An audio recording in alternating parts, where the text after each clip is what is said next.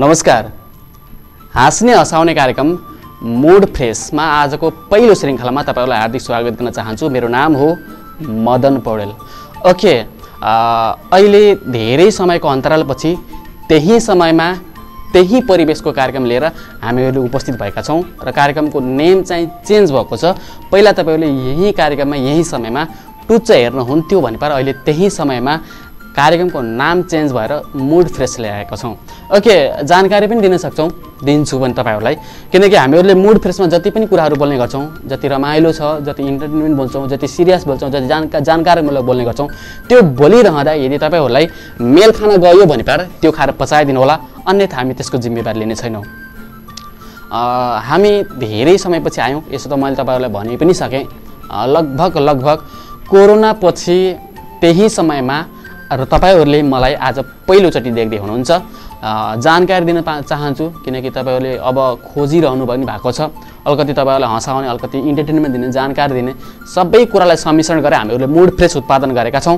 तपाईँहरूले यो कार्यक्रम हरेक हप्ताको बिहिबार साँझ छ बजे र शुक्रबार दिउँसो साढे तिन बजे यही समयमा हेर्न सक्नुहुनेछ। ओके। कार्यक्रम सुरु गरौँ। पहिलो श्रृङ्खलामा छौँ पहिलो सेगमेन्टमा छौँ। अहिले हेर्नुपर्छ अहिलेको परिवेशमा सबैभन्दा बढी चलनमा आएको भनेको भ्यालेन्टाइन डे हो। अहिले भ्यालेन्टाइन डेले एकदम चियो चर्चा कमाएको छ। किनकि चक्लेट डे गइसक्यो रोज डे गइसक्यो टेरी डे गइसक्यो। अहिले भ्यालेन्टाइन डेले एकदम चर्चा कमायो। तपाईँहरूले पनि कति धेरैको रिलेसन भइसकेको छ कति धेरैले रिलेसनमा भएकोलाई प्रपोज गर्नुभयो चक्लेट गर्नुभयो। तपाईँ यदि कसैसँग रिलेसनमा हुनुहुन्छ भने पार एउटा जानकारी दिउँ। इन्टरटेनमेन्ट भन्दा पनि एउटा थोरै जानकार जोडौँ सुरुमा तपाईँ यदि कसैसँग रिलेसनमा हुनुहुन्छ भने पार एउटैसँग गर्नुहोस् तर जिन्दगीभरको लागि गर्नुहोस्। फरक फरक नगर्नुहोस् किनकि माया साथ भनेको त्यो जो अनुहारसँग शरीरसँग होइन मनसँग गरिन्छ मनसँग रियाक्सन हुन्छ। त्यसैले तपाईँहरूले पनि यदि माया गर्दै हुनुहुन्छ कसैसँग रिलेसनमा बसिरहनु भएको छ अभियसली लाग्छ। एउटालाई नराम्रो देखे अर्कोलाई राम्रो देख्ने बानी हुन्छ सबैको तर त्यो मनलाई कन्ट्रोल गर्नु होला र जिन्दगीभरिको लागि एउटासँग मात्रै रिलेसनमा रहनु होला एउटासँग मात्रै सम्बन्धमा रहनु होला यो कार्यक्रममा हामीहरूले तपाईँहरूलाई जानकारी दिन सक्छौँ। ओके जबकि यो भ्यालेन्टाइन डेमा हेर्नुपर्छ पहिले गाउँमा हुलाकीले हाकाली जस्तो अहिले यो Facebook मेसेन्जरमा happy valentine day happy valentine day भन्दै भिडियो अडियो फोटा पठाएका हुन्छन्। हो नि त। जबकि पहिले हेर्नु पर्थ्यो क्या। गाउँमा हुलाकीले हाकाले जस्तो यो फेसबुक मेसेन्जरमा अहिले happy valentine day happy valentine day भन्दै भिडियो अडियो पठाएका हुन्छन्। जुन व्यक्तिले भिडियो अडियो फोटा पठाएको हुन्छ वास्तविक जीवनमा त्यही व्यक्तिको एउटा पनि गर्लफ्रेन्ड बोयफ्रेन्ड नबनेको हुनसक्छ। वास्तविक कुरा हो नि त। त्यही व्यक्तिको नबनेको हुनसक्छ क्या? किनकि अहिले समाचारहरू यसो हेऱ्यो अनलाइनमा हेऱ्यो टिभीमा हेऱ्यो रेडियोमा सुन्यो। अहिलेको भ्यालेन्टाइन डेमा बाहिरी देशबाट यति लाखको फुल नेपाल भित्रिएको छ। यस यो समाचार सुन्ने गरिन्छ अहिले।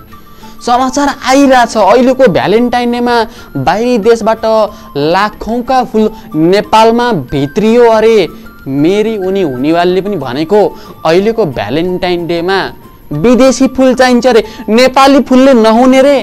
किनकि नेपाली फुलको भन्दा बढी पैसा बाहिरी देशको पर्छ गरे। यस ठोक्नुहोस् ताली। साँच्चै हेर्नुपर्छ यो मायामा यस्तो लाग्छ कि हन्ड्रेडमा एट्टी पर्सेन्ट फेक रिलेसन हो कि जस्तो पनि लाग्छ। किनकि माया यो माया सधैँभरि गरिरहनलाई कुनै भ्यालेन्टाइन डेको आवश्यकता पर्दैन मेरो विचारमा। पर्दैन पनि नपरोस् पनि। किनकि माया र साथ भनेको तिन सय पैँसठी दिन वर्षमा तिन सय पैँसठी दिन नै हुन्छ। एक दिन चक्लेट डे आएर एक दिन हक डे आएर एक दिन टेडी डे आएर एक दिन रोज डे आएर कुनै पनि माया राम्रो हुने होइन। हामीहरूले आफ्नो देशको परिवेशलाई अँगाल्नु जरुरी छ बाहिरी देशकोलाई भन्दा। मनाउला आफ्नो ठाउँमा छ तर पहिले पहिलो प्राथमिकता आफ्नो देशको लागि राख्नुपर्छ बाहिरी देशको भन्दा। ओके यो मेरो सजेसन हो। लिने तपाईँहरूले हो हामीले हो। मबाट सुरु हुन्छ तपाईँहरू मार्फत। तपाईँबाट तपाईँको छरछिमेक गर्दा गर्दै सबैतिर फैलिने जबकि भ्यालेन्टाइन डेमा लिएर हेर्दाखेरि यो माया प्रेमको बारेमा लिएर हेर्दा बडो रमाइलो पनि हुन्छ बडो अचम्म पनि हुन्छ। सुरुवाती मायामा माया भन्दा बढी पैसा खोज्नेलाई के को माया गर्नु र यार? वास्तविक कुरो। मायामा सुरुमा मायै गर्न पाएन। पैसा हेर्ने धन सम्पत्ति हेर्नेलाई के को माया गर्नु र? सुरुवाती मायामा माया भन्दा बढी पैसा खोज्नेलाई के को माया गर्नु र यार?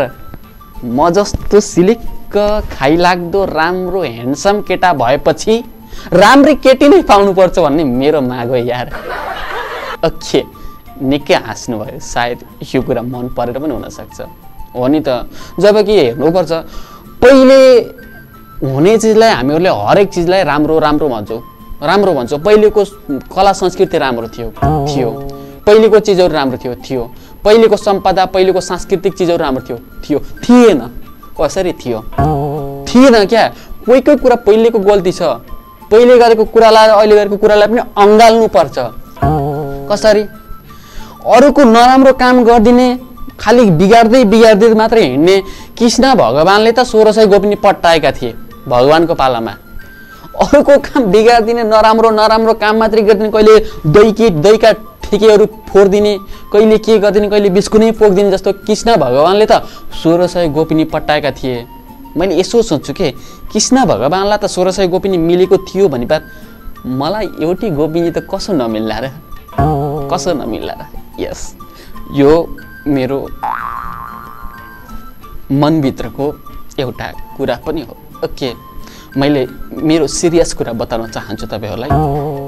वास्तविक रूपमा यो भ्यालेन्टाइन डेमा rose day teddy day chocolate day मलाई पनि सेलिब्रेट गर्न मन छ।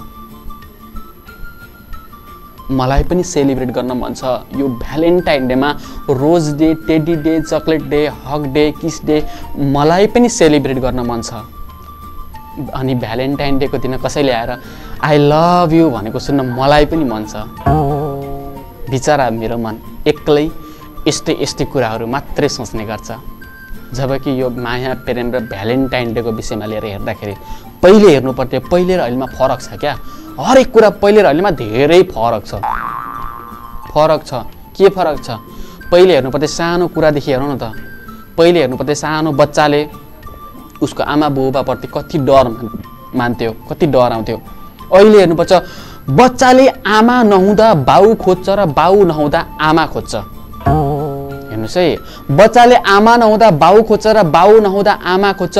आमा र बाउ दुवै हुँदाखेरि दुःख दिएर रुन थाल्छ अहिलेको बच्चा। रुन थाल्छ अहिलेको बच्चा। जबकि अहिलेको बच्चालाई हेर्नुपर्छ एक दुई रुपियाँको चक्लेटले मान्दैन। महँगा महँगा चक्लेट मात्रै खोज्ने गर्छन् अहिलेको बच्चाहरूले। अहिलेको बच्चाहरूले हेर्नुपर्छ एक दुई रुपियाँको चक्लेटले मान्दैन महँगा महँगा चक्लेटहरू मात्र खोज्ने गर्छन्। के थाहा? पछि तिनै बच्चाहरूले पनि बाबा आमालाई वृद्ध रास्तामा छोड्ने गर्छन्। यस एउटा घतलाग्दो कुरा पनि छ चित्तबुद्ध कुरा पनि छ। किनकि तपाईँहरूले आफ्नो छोराछोरीलाई आफ्नो नानी बाबुलाई त्यस्तो खालको शिक्षा दिनुहोस् ताकि त्यो शिक्षाले पछि गएर तपाईँलाई पछुताउनु नपरोस्। यस यो मेरो भनाइ हो र मेरो मान्यता हो। जबकि यो पहिले र अहिलेको विषयमा लिएर हेर्दा पहिले हेर्नु पर्थ्यो कति रमाइलो हुन्थ्यो पहिलेको चिज र अहिलेको चिजमा हेर्नुपर्छ।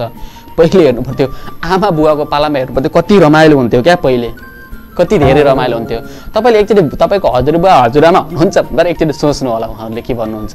बुबा तपाईँको लभ कसरी परेको थियो? आमा तपाईँको लभ कसरी परेको थियो? बुबाले मस्त भन्छ बाबु हाम्रो पालामा नि अहिले जस्तो माया प्रेम फेसबुक म्यासेन्जर कल भन्ने हुँदैन थियो। अनि कसरी लभ गर्नुभयो त तपाईँले? त्यो सुन्ने बित्तिकै बुवाले भन्नुहुन्छ उति बेला त हाम्रो गाउँमा हाम्रो पालामा गाई बस्तु लिएर बन जानु पर्थ्यो चरामा। त्यही बन जाँदा जाँदै ओल्लो डाँडा र पल्लो डाँडाबाट पात बजाउँदा बजाउँदै माया बस्थ्यो अरे। हजुरबाको पालामा। पहिले कति फरक थियो पहिले र अहिले। पहिले हेर्नु पर्थ्यो पुरा क्या पुरै बिहे गर्न जाँदा पनि पुरै डोली बोकेर रुँदै रुँदै जानु पर्थ्यो पहिले। कम्ता गाह्रो थियो पहिले। अहिले त हेर्नुपर्छ त्यो त सबै चिज हट्यो। अहिलेको बिहे हेर्नुपर्छ पार्टी प्यालेस। अहिलेको के अरे त्यो बिहे बसेको हुन्छ नि भोज त्यो हेर्नुपर्छ पार्टी प्यालेस सबै पश्चिमी सायद पश्चिमी कला संस्कृतिले पो फरक बारेको हो कि हाम्रो सम्पदालाई? फरक पनि पर्छ। जबकि पहिले कति रमाइलो हुन्थ्यो। पहिले बिहे गर्दा पनि अझै पनि छ मान्यता सात फेर मण्डपमा घुम्नु पर्थ्यो। त्यो मान्यता त अहिले पनि छ। बिहे गरेर आइसकेपछि बाटोमा आउँदाखेरि चिउरा मगाई भन्ने चलन हुन्थ्यो पहिले। चिउरा मगाई भन्ने चलन हुन्थ्यो पहिले। चिउरा मगाई पनि पुरा कस्तो कति रमाइलो हुन्थ्यो क्या पहिले। पुरा पहिले सुरु भन्थ्यो सत्कार गर्दै। ल्याउनुहोस् बुढी चिउरा। कस्तो रमाइलो हुन्थ्यो पहिले। दोस्रोमा भनिन्थ्यो ल्याउ बुढी चिउरा। तेस्रोमा भन्थ्यो ले बुढी चिउरा।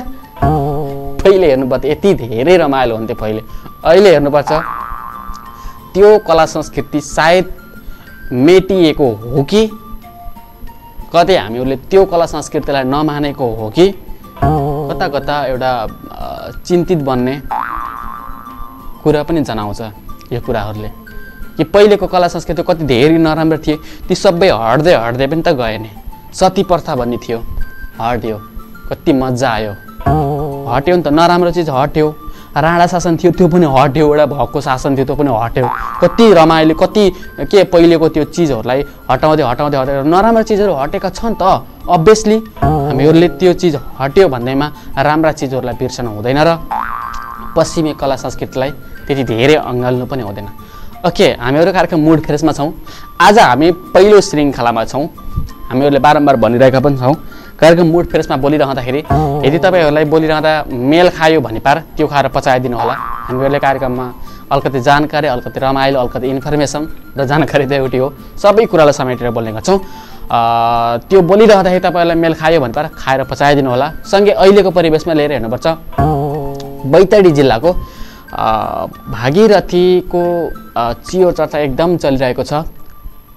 जुन किसिमले उहाँको रेप भयो जुन किसिमले उहाँको एउटा हत्या भयो त्यसको निम्ति अहिले धेरै सञ्चार क्षेत्र तातेको छ सामाजिक सञ्जाल एकदम तातेको छ। जसरी निर्मला पन्तले आफ्नो न्याय पाउन सकिनन् उनको आत्मा उनको बाबा आमालाई त्यति धेरै पीडा परिरहेको छ।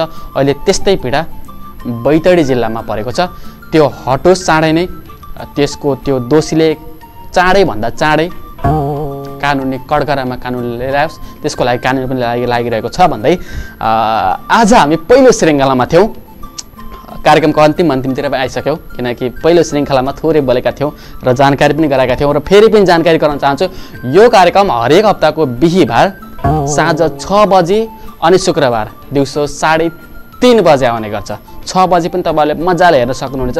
साढे तिन बजे पनि घरको घरमा आइसकेपछि विद्यार्थीहरूले मजाले हेर्न सक्नुहुनेछ र कार्यक्रममा बोलिरहँदा मेल खायो भने त त्यसलाई खाएर पचाइदिनु होला। अब कार्यक्रम नियमित रूपमा आउनेछ भन्दै आजको कार्यक्रमबाट एमसिआरबाट साथ दिने नारायण दाजुलाई विशेष धन्यवाद दिँदै म कार्यक्रम प्रस्तोता पहिलो श्रृङ्खलामा बोलिरहँदा केही मिस्टेक भएको भए त्यसलाई दिनु होला भन्दै अर्को कार्यक्रमबाट थप ऊर्जा थप कार्यक्रममा नयाँ नयाँ कुराहरू लिएर उपस्थित हुनेछु भन्दै म मदन पौडेल बिदा हुन चाहन्छु नमस्ते।